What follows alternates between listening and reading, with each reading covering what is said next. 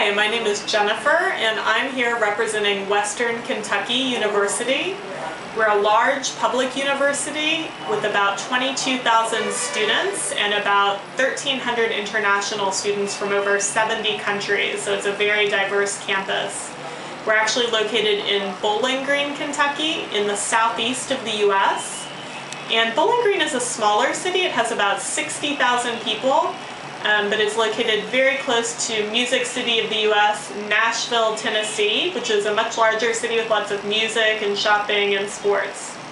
Western Kentucky University has over 170 undergraduate programs and over 70 graduate programs.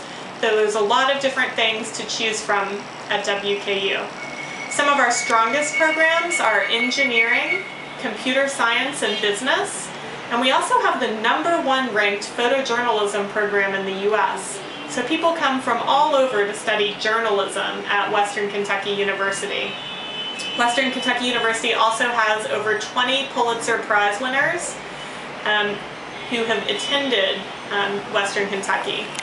And it also has its own television station and radio station that's run entirely by the students. One great thing about Western Kentucky is we have a lot of student clubs and organizations that you can participate in. We have over 300. Western Kentucky is also an NCAA Division I ranked school, so sports are very popular. Probably the most popular sports are basketball and American football, but we also offer volleyball, baseball, softball, tennis, track and field, cross country, and quite a few others. Um, another great thing about Western Kentucky is you can get a job on campus. International students can work up to 20 hours per week and up to 40 hours during break time. And a lot of students will save money for their living expenses that way. We also have an international student office where students can go if they're having any sort of problems with their visa any sort of health problems, or they're just having a hard time adjusting to campus and they need some advice. The people at the International Student Office are there to help them anytime with any sort of problems that they're having.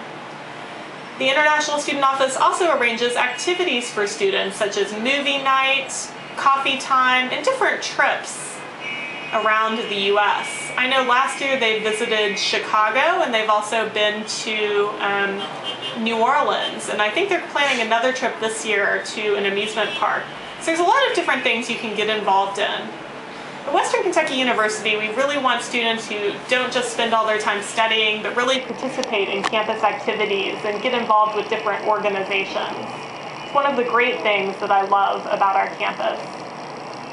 If you'd like some more information about Western Kentucky, you can visit our website at www.wku.edu or you can get in touch with Sunway. Sunway would be happy to help you if you have any questions about Western Kentucky or you're interested in applying. Thank you very much, and it was great talking to everyone today.